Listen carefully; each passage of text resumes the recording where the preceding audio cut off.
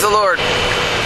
I want to talk about um, foundational scriptures and scriptures that are um, more so like they fit here and they fit there, but they meant something very specific according to kind of a, I don't know, just a specific branch of some sort. You know, you got the vine, you got the branches. It's almost like we're trying to take a verse that's more of a branch and make it a and make it a trunk of a tree. Make it a vine, you know what I'm saying? And we're taking things that are foundational and trying to replace them with things that are only branches. I think that's why a lot of the church is so blind and weak a lot of times. Praise the Lord. Not to be mean, I'm just trying to like describe something I, I can see a problem. Now, there's a scripture in the Bible that says the goodness of God leads to repentance. So obviously, under a certain um, angle, whatever the context was, was the goodness of God leads to repentance. I'm pretty sure that's pretty clear. Now, you could say, okay, if that's true, then obviously repentance is not bringing forth the goodness of God. That's not true. It doesn't mean that that's the only thing. It doesn't say that's not the only verse in the stinking Bible. Okay? Bible says Jesus went around after fasting for 40 days and said, Repent, for the kingdom of heaven is at hand.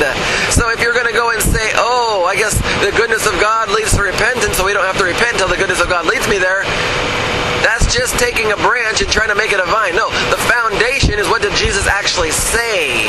He said, Repent, for the kingdom of heaven is at hand. The one preceding him was John the Baptist. He said, Repent, prepare ye the way for the Lord.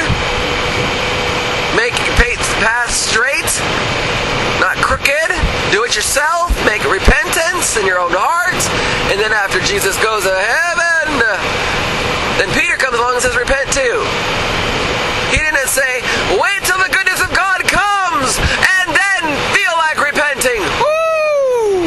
No, because it's not a branch. He was laying down concrete foundations just like his daddy, the King Jesus, the God of the world. Glory! And John the Baptist, the greatest preacher in the world. They loud, they laid down concrete kingdom foundations and they said to repent. But under a certain circumstance, yes, the goodness of God leads to repentance, but that doesn't outlaw, it doesn't outrule, it doesn't outweigh everything else. We need to keep our heads in check and stop listening to the things that make sense to us while we're doing whatever we think we're do- we want to do. The whole counsel of God must be a whole.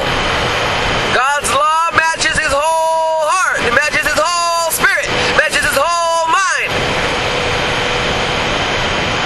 So if we want to put on God, we got to put on his whole word, not just one verse. This tricky stupidness that people fall for all the time.